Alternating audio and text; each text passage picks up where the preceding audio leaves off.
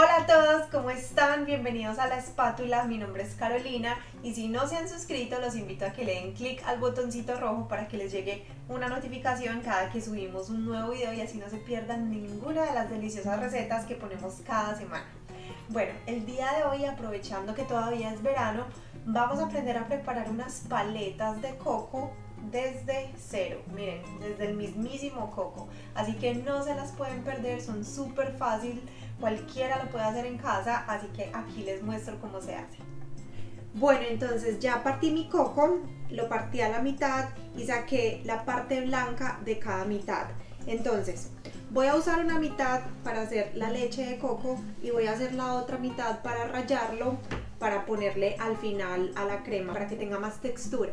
Entonces, la parte con la que voy a hacer la leche de coco, le voy a remover toda esta cascarita, esta pielcita café, para que la leche de coco me quede más blanquita. Pero la que voy a rallar, no tengo necesidad, entonces la voy a rallar así, con la pielcita y todo. Vamos a proceder entonces.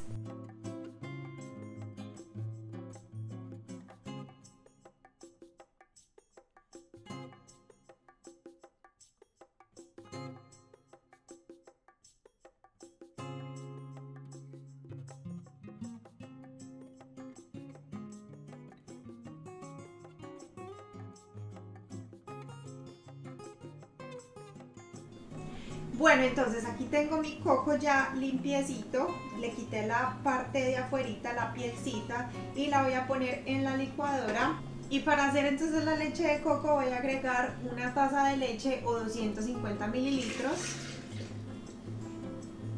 Y vamos a licuar muy muy bien. Bueno, les cuento que yo licué mi coco y mi leche por más o menos 5 minutos para asegurarme que el coco me quede muy muy procesado porque no lo voy a colar. Entonces ahora lo vamos a pasar a un tazón y no, como les digo, no lo vamos a colar. Bueno, entonces acá en la licuadora me quedó un poquito de coco, entonces lo que yo voy a hacer es poner un poquitico más de leche para lavar todo ese coco que tengo acá.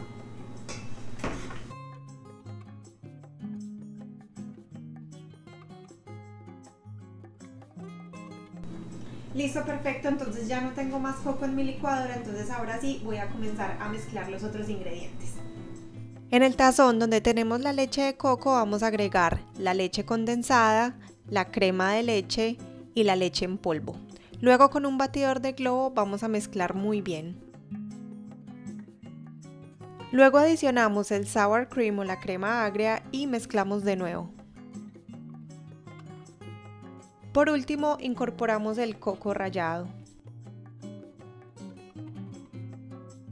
Llevamos nuestra mezcla de coco a los moldes para paleta y llevamos al congelador por 12 horas.